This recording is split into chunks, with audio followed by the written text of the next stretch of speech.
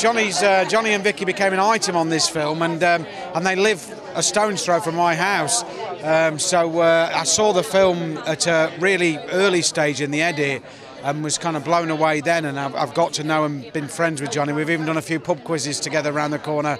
But this is all about obviously him and, and Vicky tonight. And uh, yeah, it's amazing. I've driven down in my car from Nottingham, and I'm, I'm looking forward to it. Of course, I mean, as an actress, what makes Vicky such an extraordinary talent? I, I, think the best thing that ever happened to Vicky was the years in the wilderness. We sort of did Romeo Brass together uh, when she was 15.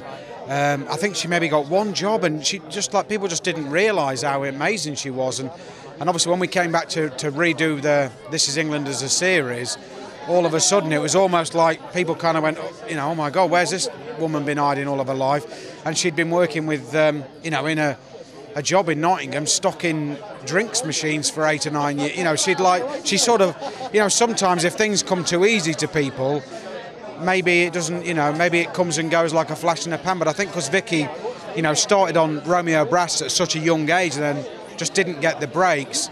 She had 10 years working in offices and things like that. I think when she came back, she just appreciated every second of it. And, she, you know, I've, no, I've never met anyone that works as hard as Vicky ever. Talking about This Is England, obviously, um, we're so excited to hear that we're getting our next chapter with This Is England 90. Um, what made you so determined to keep that story going, and, and what can fans expect?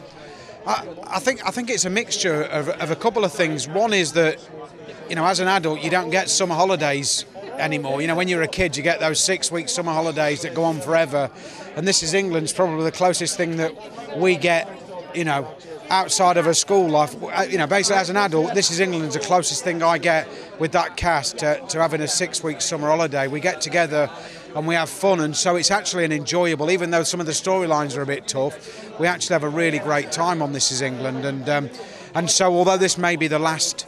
Uh, incarnation of it, and it might be the final chapter. We're going to go out hopefully with a bang, and uh, and uh, you know towards the tail end of the year. So yeah, fingers crossed. Yeah, everyone's kind of back there. There's obviously always a you know a couple of new sort of people will come into it, but uh, yeah, it's all um, you know it's it's definitely going to go out with a bang, hopefully. So.